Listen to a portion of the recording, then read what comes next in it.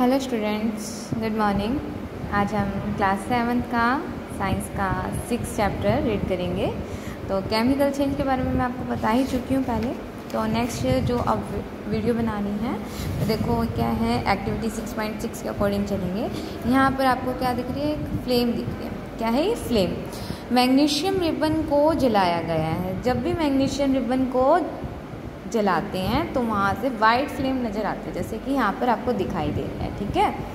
किसी भी चीज़ को जलाने के लिए कि, किसकी आवश्यकता होती है? ऑक्सीजन की आवश्यकता होती है ओके तो यहाँ पर small piece of thin strip ली है किसकी? Ribbon of magnesium magnesium ribbon की clean its tip with sand paper sand paper से उसको क्या किया साफ़ किया नियर अ कैंडल फ्लेम और उसको कैंडल फ्लेम के पास लाते हैं और क्या देखते हैं? वाइट लाइट वहाँ दिखती है। When it is canning one जब इसको जलाया जाता है बिहाइंड अ पाउडर तो वहाँ पर कुछ पाउडर रह जाता है और वो पाउडर कैसे कलर का है? वाइट कलर का पाउडर है, ठीक है? Magnesium plus oxygen after this reaction M G O यहाँ पर क्या रिएक्शन होएगी? M G plus O two after this reaction two M G sorry two M G O ठीक है? तो मैग्नीशियम और ऑक्सीजन को यहाँ मिक्स करते हैं तो क्या बनता है? टू एम जी यानी मैग्नीशियम ऑक्साइड तो यहाँ पर हम बात करते हैं ash mix with the small amount of water हैं यहाँ पर अगर हम किसी दूसरे उसकी बात करते हैं एसिड की या फिर लिटमस पेपर की तो वहाँ पर आपको मैंने याद हो तो इससे पहले चैप्टर में करवाया था कि जब भी हम एसिडिक और बेस का देखते हैं तो एसिड जो है, वो ब्लू कलर से रेड में चेंज हो जाता है। लिटमस पेपर पर जब एसिड को डाला जाता है तब ठीक है? और नेक्स्ट में बताया था, जो बेस अगर हम लिटमस पेपर पर डालते हैं, अगर वो रेड कलर का लिटमस पेपर है, वो किसमें कन्वर्ट हो जाएगा? ब्लू कलर में चेंज हो जाएगा। ओके ये आपको याद रखना है। अब कुछ इक्वेशन है, देखो नीचे दी हुई है। Magnesium oxide plus water after this reaction magnesium hydroxide ये आपको फॉर्मूले याद रखने हैं।